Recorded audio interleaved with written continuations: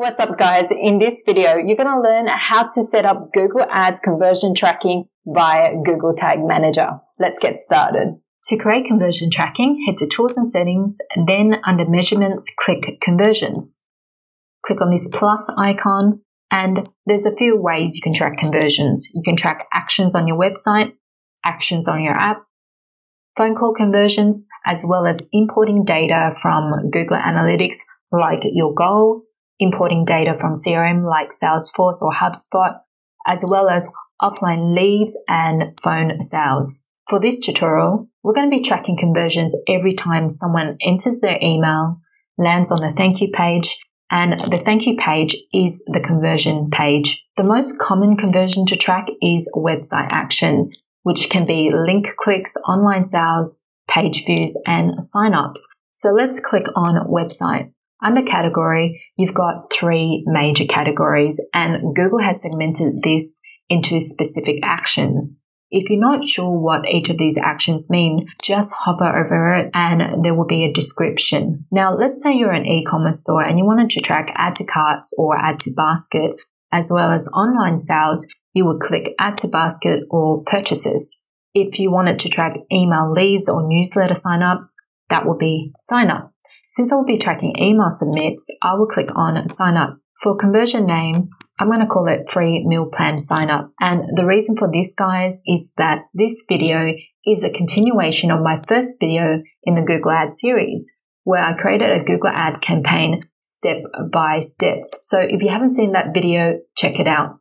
Under value, you've got three options. The first option is where you assign the same value for every conversion.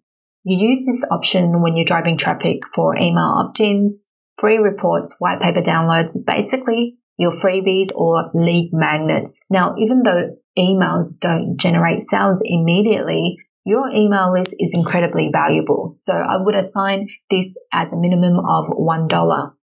The second option, use different values for each conversion. This would apply if you were an e-commerce store and you wanted to track purchases and sales you would use this option as each product's price would be different in terms of a dollar value. For this, you will need to add dynamic value in the tracking code on the next page. The third option is don't use a value. I don't recommend using this even if it's just only for website visits, at least assign some kind of value against it. Since I will be tracking email opt-in submits, I will use the first option and click on. Use the same value for each conversion. Under count, this is saying how many conversions count per click. If you click on every, this means that if someone clicks on your ad and completes two separate purchases on different occasions, that will count as two conversions. If you click on one, this is ideal for tracking leads and signups. So if someone clicks on your ad and they enter their email twice, it will be counted as one conversion. In my case, I will be selecting one. In click through conversion window, this tells Google how far they should look back in time to count a conversion. So the default is 30 days and you're telling Google to look back 30 days before the conversion occurred to see if there was a click on one of your ads. For view through conversion window, this is for when you're running display ads or YouTube ads and it's similar to the conversion window if someone views your ad but does not click on it, this will be reported as a view through conversion. So it's fine to leave it at one day. In include in conversion, I usually leave this enabled and you're telling Google that you want to optimize your campaign for conversions. The number of conversions will appear in your conversions column over in your Google Ads campaign. Now, if you don't see this column, just go to column, modify columns, under conversions, click on conversions, the first one, and then scroll down and click on view through conversions as well and hit apply. And you will be able to see the number of conversions for both conversions and view through conversions. The last part is attribution model. And it might sound complicated, but you're just telling Google how to give credit to a conversion if someone clicks on more than one of your ads. You've got a few options here. So the first option is data driven and this option is only available when you have sufficient conversion data. The next one is last click and it's given credit for conversions based on the last clicked ad. Now, in reality, it doesn't always happen like this. For example, if someone sees a search ad, they clicked on it but did not purchase, the next day they get remarketed through a Google display ad and they purchase. If you chose last click, Google display ad will get 100% of all the credit for that conversion. So if you're creating simple Google ads without a bunch of remarketing lists, then choosing last click is fine. And remember, you can always go back and change these attribution models. I'll leave a link to Google resources if you'd like to read more about each of these attribution models. Alright, and then you can hit create and continue.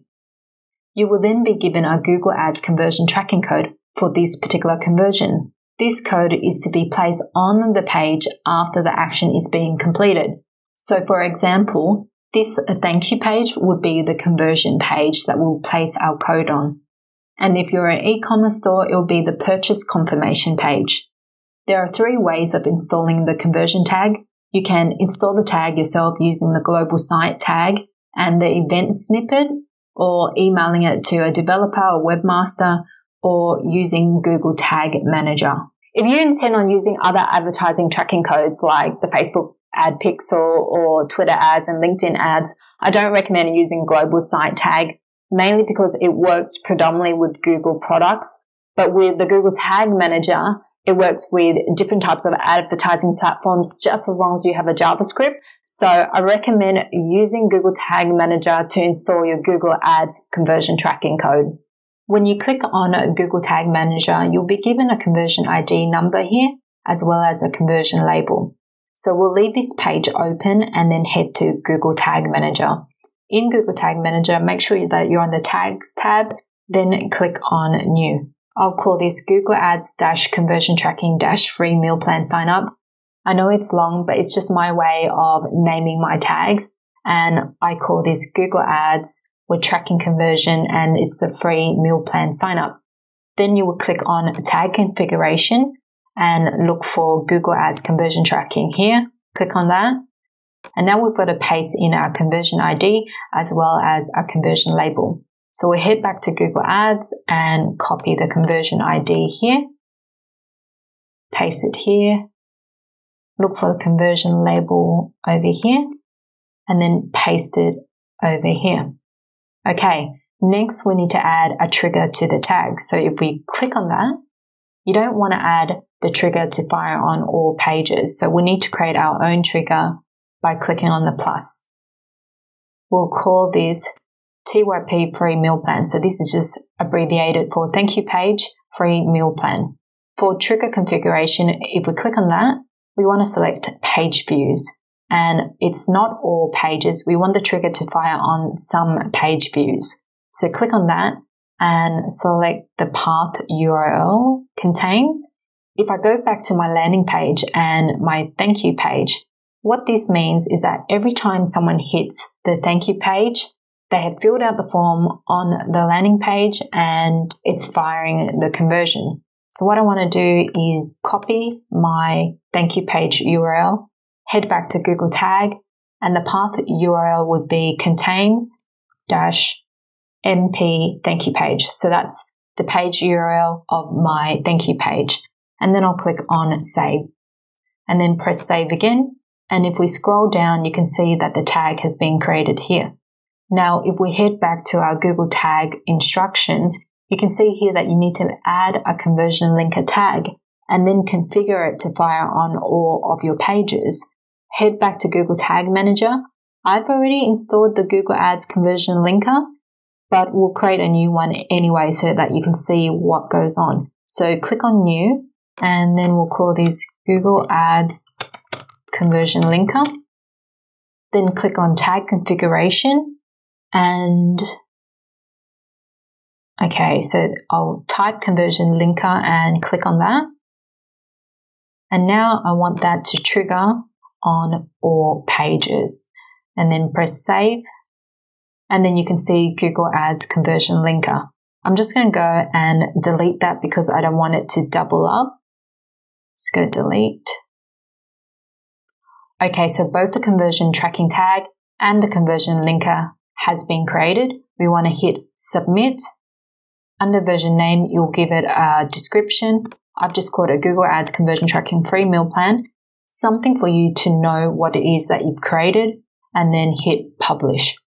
Then it will give you a summary of the tags you created. And let's head back to workspace. Now you want to hit on preview because the preview mode allows you to test the tag that it's been deployed and will fire on the thank you page. So once you've clicked that, head to your conversion page. So my conversion page is the thank you page and I want to refresh it and just pause this. And you can see that the tag manager has opened up the preview mode. Under tags, you want to look at tags fired. So we're looking for the Google Ads conversion tag that we created. So Google Ads conversion tracking free meal plan sign up and it's under the tags that's fired. So that's correct. And you can see all my other ad pixels and tags created here, as well as the Google Ads conversion linker that's been fired as well. And to make sure that my tag is not firing on my landing page, I'll head to the landing page, hit refresh, and then under the tags here, you can see that the conversion tag that we created isn't firing. So that's all good to go. Then head back to tag manager and then click on leave preview mode. Press OK.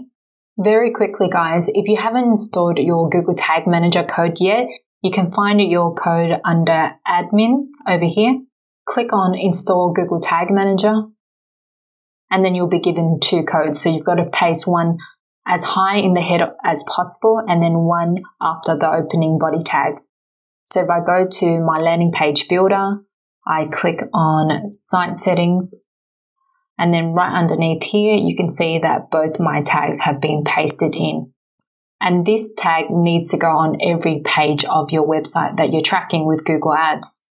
Guys, this is a free landing page builder the free plan has pre-designed landing page templates and you can build up to three funnels with custom domain integration, which means you can brand every URL for free. And you can get this free landing page builder at aimeevo.com backslash freelander. Again, to be totally transparent, if you decide to upgrade more than three funnels, I do receive a small commission and it will help support this channel in making more videos like this. Once your Google Tag Manager code is on your website, the process of creating the Google Ads conversion tracking tag will still be the same. So it doesn't matter if you're on a landing page builder or on WordPress. Okay. And let's click on next and then press done. Then you will see your conversion tracking appear under here. One final thing I like to mention is that once you run your ads, you can actually see if your conversion tag is firing by going under tools and then conversions then you'll get this page and you can see here the tracking status. There will be different types of tracking status. So the tracking status would be unverified, no recent conversions, recording conversions, tag inactive. So I'll leave a link in the description for you to view what each one of these statuses mean. If I go back to my conversions and then if I hover over no recent conversions or whatever my status is, just hover over it you will see last seen, when it was last seen, and when the last conversion was recorded. That basically tells me that my conversion tracking is active, but I haven't recorded any recent conversion trackings because it was more than 44 days ago. And since this is a continuation of my first video in this series called Google Ads Tutorial, How to Create a Google Ad, you can go to campaign settings and just check that it is at the right conversion. So I'll go into meal plan and then click on settings, click additional settings. And if I click on conversion, you can now see that the conversion action in use is free meal plan sign up. Now, if I create more than one conversion tracking, this second option would be available and I can click on it, but it's at the right conversion tracking. You can just leave it at save.